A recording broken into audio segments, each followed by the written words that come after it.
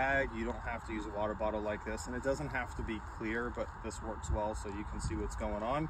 Um, we can build a tiered filtration system, right, just like this, but inside this, you could take this with you if you're traveling, you could put it in your backpack or something like that. The first thing we need to do is get the bottom off.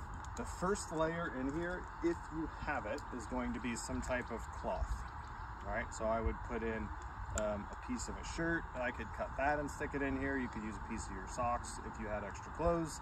Um, if you have cotton balls, which is what we use today, cotton balls work really good. Okay. So that plugs up the very bottom of it. The next thing we'll do is add some of this charcoal.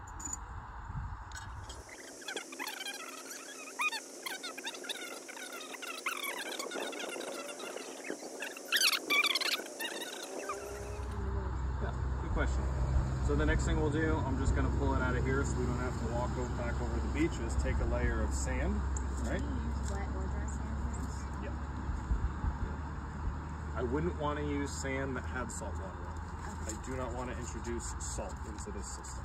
Because that would just make it salty. Mm-hmm. If I ran it through enough times, you'll eventually rinse that salt water out and then it's going to be good to drink. But if I can keep salt out of my system, I'm going to do that.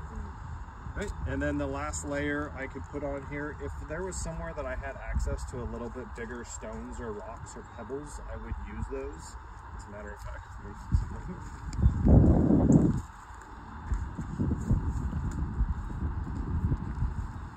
so we'll take some of these as our next layer, like that. And then my very top layer, I'm gonna use, again, just something to start that filtering process. I don't want to spill into my, my Ziploc bag, right? I wanna try and avoid cross-contaminating any of that if at all possible.